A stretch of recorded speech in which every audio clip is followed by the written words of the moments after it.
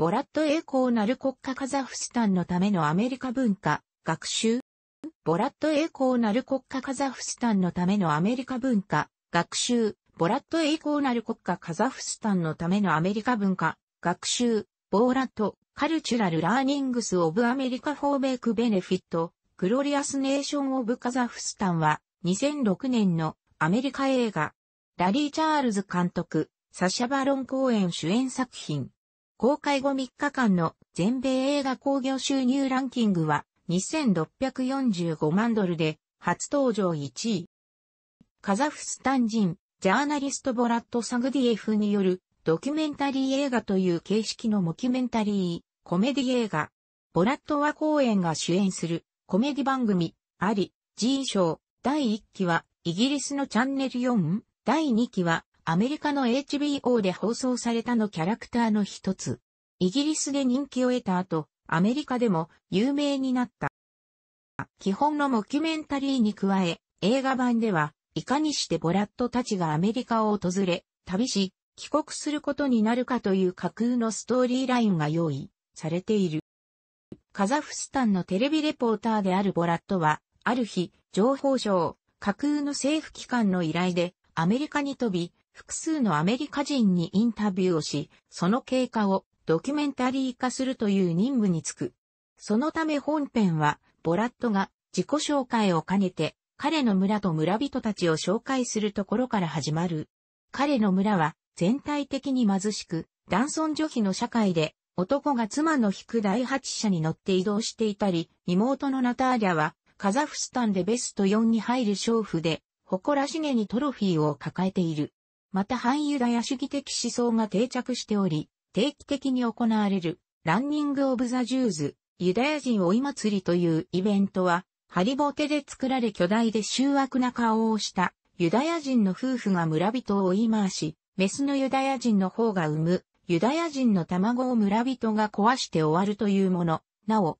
実際に撮影に使われたのは、ルーマニアのジプシーの集落でボラットを演じる。公演自身はユダヤ系イギリス人であり、カザフスタンはイスラエルと交流の深い国である。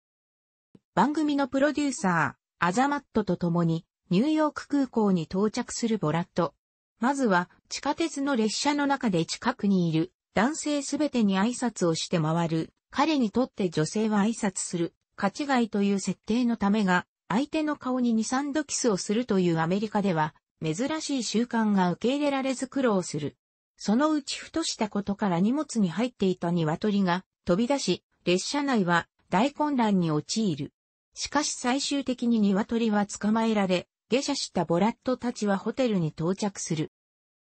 ホテルに泊まるのは、初めてのボラットは、チェックイン時に宿泊料金を値切ろうとしたり、部屋に案内される途中のエレベーターを客室と勘違いして、荷ほどきを始めたり、またテレビのリモコンの使い方がわからず、ホテルのインフォメーションの静止画像を3時間ほど眺め、番組が始まらないとクレームをつける。しかし、リモコンの操作方法を教えてもらった彼は運命の出会いをするのだった。ベイウォッチに登場するパメラ・アンダーソンに演じる CJ パーカーを見たボラットは一目で恋日、彼女と結婚したいと思うのだが、いかんせんすでに既婚で、故郷の妻からは浮気しようもんなら、ペニスをへし折ってやるわよと釘を刺されているみんなのだった。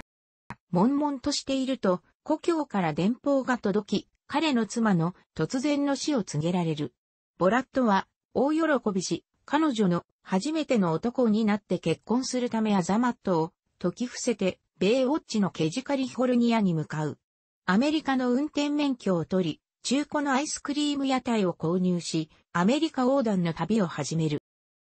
これらの設定は、テレビ版の、あり、G 賞からのもの。カザフスタンのジャーナリストになりすまして接見し、文化の違いを称してわざと相手の嫌がるような言動でトラブルを起こすのが基本スタイルであるが、そのほとんどには社会風刺やタブーへの突っ込み、皮肉などが含まれる。一部は俳優を使った芝居であるが、おおむね映画の撮影と知らされていない人々が実際にインタビューを受けているこのため撮影中に幾度も本物の揉め事が起こっている。口述。代表的なものは以下の通り。アメリカンユーモアを学ぶため個人レッスンを受けるボラット。しかし、義理の母と性交渉を持ったことをほのめかしたり、知的障害のある弟をみんなで馬鹿にして遊ぶ、話を自慢げに語などし、講師を困惑させる。フェミニズムについて学ぶために、フェミニスト団体の女性3人にインタビューするボラット。だが、最初の女性が男性と同じ権利を得るためのというくだりで吹き出した上、女性は脳が小さいので教育は無駄。祖国の科学者曰く女性の知能は小動物並みなどと言い怒らせている。車のディーラーに女がくっついてくる車を要求するボラット。ディーラーにハマーを紹介されると、ジプシーの群れに突っ込んでも壊れないか、確実に殺すには時速何マイルくら出せばいいか、等と質問する。ディーラーも悪乗りして、フロントガラスは割れる35から40マイルも出れば殺せる等と回答。ミシシッピ州で実在のニュース番組に出演。生放送だと知らないという設定のもと、インタビュー中に小便に行かせろと要求する、天気予報に乱入して雑談を始める、など応募を尽くす。しかし大部分のスタッフは、ボラットが俳優だと知らされておらず、出演を許可したプロデューサーが番組の品位を貶めたとして、隕石辞職する事態となった。ボラットは大陸横断中にロデオ大会でアメリカ国歌を歌うこととなる。直前に大会関係者からヒゲイコールテロリストと見られることを指摘されるが、ヒゲを剃らずに監修の前に登場したボラットはテロの戦いを支持すると宣言し、対テロの戦いのことだろうと好意的に受け止めた観客から好評を買う。しかし続いてブッシュ大統領が、かの国のすべての男、女、子供の血をすすり、国を完全に破壊し、向こう千年間は一匹のトカゲも生存しない状態にすることを願うと宣言し微妙な気を作り出す。そして国家読書では唐突にアメリカ国家の曲に架空のカザフスタン国家、カザフスタンはカリウムの輸出が多い、他の中央アジアの国の作るカリウムは粗悪なものな実際のカザフスタン国家とは全くの別物を乗せて歌い、嵐のようなブーイングを受ける。なおこのチャプターも実際のロデオ大会で収録されており、激怒する監修も本物である。そのため実際に地元のニュース番組で報道された上、その番組内では国家斉唱はせず、ブッシュ政権のバッシングを行ったと事実が曲解されて伝えられた。なお、騙されてボラットを出場させたマネージャーは、その後、罪滅ぼしとして、在米カザフスタン大使をロデオに招待した。社交マナーを学ぶためにディナーパーティーに参加するが、同席の女性3人を配偶者の目の前で批評したり、水洗トイレの使い方を知らないという設定で、ビニール袋に排泄物を入れて持って帰ってきたり、新聞広告に載っていた電話番号で娼婦を呼んで同席させようとしたりする。娼婦は制作者側が送り込んだ女優だが、何も知らされていない一般人の列席者たちは激怒し、警官を呼ぶ騒ぎとなった。骨董品店を訪れ、古くて価値のないものだと馬鹿にした挙句、滑って転んで商品を壊すという内容だが、この部分は歴史的価値のある物品が永遠に失われることになるのは避けたい有効園の主張により制作者側で準備したセットで俳優を使い、撮影された。ボラットの入浴中、アザマットがパメラの水着姿を載せた雑誌でオナニーをしたことで喧嘩になる。嫉妬に狂ったボラットはカリフォルニアに行く理由がパメラ目当てであることをバレてしまい、逆上したアザマットと全裸でホテル内を駆け回って争う。最終的には住宅ローン販売員の会合に乱入し、全裸のまま舞台上で取っ組み合いを始める。大部分の参列者には事情が知らされておらず、警備員が本気でボラットラを投げ倒すなどした。アザマットと喧嘩別れをし、車と金を失った挙句、ヒッチハイクした大学生のキャンピングカー内で鑑賞したパメラの DVD、裏流出ビデオの内容に激しいショックを受け、失意のどん底に陥ったボラットは、いつしかペンテコステ派の集会に迷い込む。人々がハイテンションで叫び狂う異様な光景に戸惑いながらも、救いを求めるボラットに、信者たちは、彼の頭を押さえ威厳の洗礼を浴びせかける。その結果、見事に洗脳、稲立ち直る。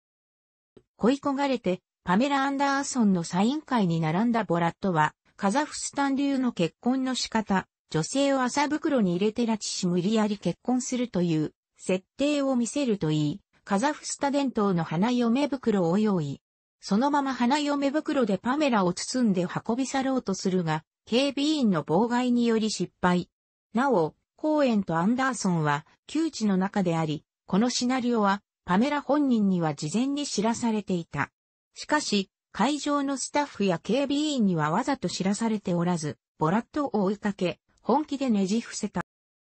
役名俳優、ソフトバン吹き替え。本作は多くの出演者を騙して撮影しているため、映画の枠を超えて、現実で数々の問題が起きている。前述の通り、ボラットを16話プットニュースに出演させたプロデューサーは、この責任を問われ解雇されている。